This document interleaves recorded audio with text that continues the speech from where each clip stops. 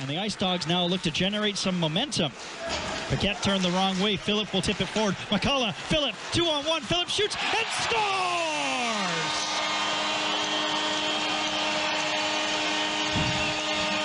Well, the rookie, he used McCullough as the decoy and went far down for his 10th of the year, and the Ice Dogs are back in it.